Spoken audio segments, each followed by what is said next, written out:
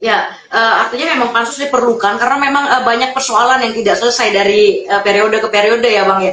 Tapi kan uh, pada akhirnya yang lebih terhighlight pada saat ini adalah pansus ini ya bersifat politis seperti yang tadi ya sempat disinggung juga oleh Bang Dedi. Nah ini ada statement juga dari Ketua PBNU ya Gus Yahya yang merupakan kakak dari uh, Menteri Agama kita. Nah dia merasa kalau ada masalah pribadi dari inisiator pansus haji ini yang tadi disebut juga Caimin uh, yang sekaligus ketum PKB dan Kementerian Agama yang dipimpin oleh Gus Yakut. Nah hal ini membuat PBNU itu seolah kebakaran jenggot Bang Dedi.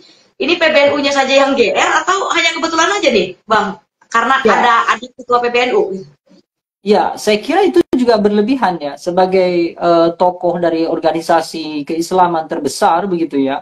Kemudian uh, mendapati respon terkait dengan uh, wacana pansus haji ini justru malah tidak berpihak pada kepentingan publik. Itu kan aneh.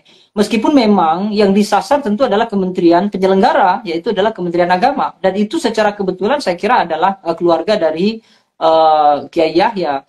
Tetapi persoalannya adalah apa yang dilakukan oleh uh, para uh, apa namanya legislator di DPR begitu ya menginisiasi adanya pansus lalu kemudian uh, meresmikan artinya sebelum sebelum apa namanya pansus ini kan lebih dulu bekerja baru kemudian dia mengurus hal-hal yang bersifatnya administratif kan kira-kira begitu. Kalaulah ada persoalan pribadi, saya kira itu tidak mengemuka. Kenapa saya katakan tidak mengemuka? Karena pansus itu jelas adalah legal satu. Yang kedua, kalau kebetulan yang menginisiasi adalah Muhammad Iskandar, karena memang mitra Muhammad Iskandar adalah berkaitan dengan penyelenggaraan haji.